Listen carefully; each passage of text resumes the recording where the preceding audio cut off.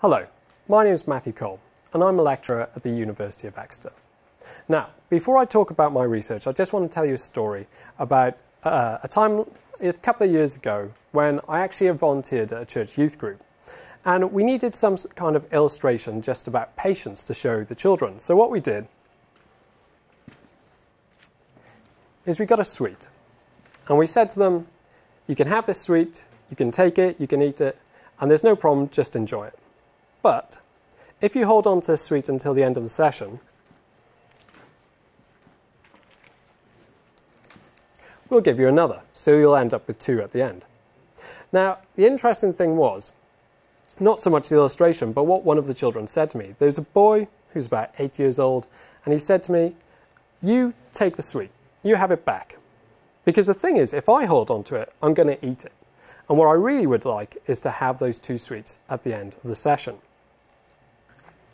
Now, the interesting thing is, although that boy didn't realize it, but that simple illustration encapsulated a whole number of issues with economics and law, and it applies to mergers and acquisitions, which is my area of research. You see, classical economics suggests that we're all rational, that we all act in relatively predictable and economically rational ways. So, for example, if I said to you, you can have £300 today, or you can have £305 tomorrow. And then if I said you can have £300 in a year's time, or you can have £305 in a year and a day's time. Now, according to economics, classical economics, everyone would answer those two questions the same. So either you would say yes to both, uh, for example, wait an extra day, or you would say no to both and always take the earlier date. But the funny thing is, that's not how we are, act. You see, behavioral economics suggests that actually we don't act as classical economics suggests. We tend to have something which is called present bias, among other different kinds of biases. And this suggests that we overemphasize the importance of things that we get now over those things that we might get a bit later. The problem is that can have a very serious impact on our economy. You see, imagine that you are a shareholder in a company. You own shares in a company and someone comes along with a bid to buy that company. They will typically offer you something called a takeover premium, which is where they'll give you more money than the shares are currently worth on the stock market. Now, you can either take that money and sell your shares, or you might think to yourself, well, actually, I think this is a very well run company. Therefore, I'm going to hold on to my shares because I think maybe in three or four years' time, it'll be worth more. The difficulty is you can see how present bias might make people make a bad decision.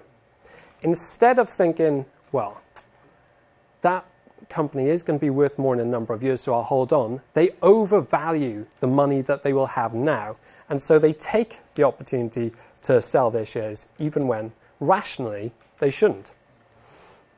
And this is a real problem if you're a member of a board that runs a company. Because if you know that's how people behave, then when you're faced with a decision, let's say you've got some revenue, you can do one of two things for it with it. You might want to invest it in the future to make your company more competitive and more productive, or you might want to return that money to shareholders as a dividend. Now, if you know that shareholders overvalue things that they get now, you're going to spend your time trying to return money to shareholders now and now and now and now, and never really focusing enough on investing for the long term. And this, unfortunately, the facts suggest is a problem that the UK has. We tend to invest less in research and development which of course is something which pays off in the future, than other uh, countries such as the United States. So, what's the answer? What can we do? Well, some people suggest that we can have something called takeover defenses, and some countries do have this.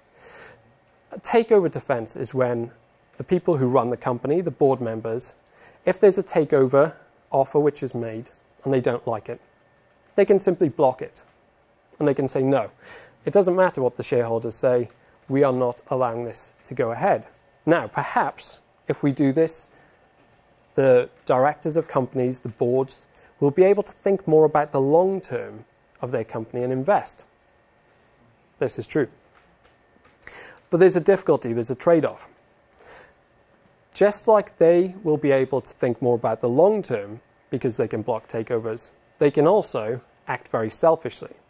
So, if they wanted to, knowing that they don't have to worry about a takeover where if they're doing a bad job, they might be fired after the takeover is completed, they might think, well, I don't have to worry anymore. We've got takeover defenses, so what I will do is spend all my time on the golf course and enjoy myself at shareholders' expense.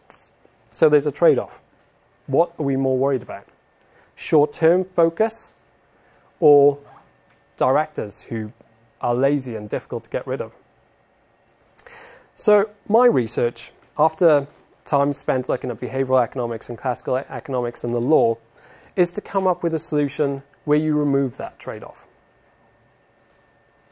So, my idea is that we reform the law so that boards of directors can go to shareholders and they can say to them, look, we want to invest in the long term on a particular project.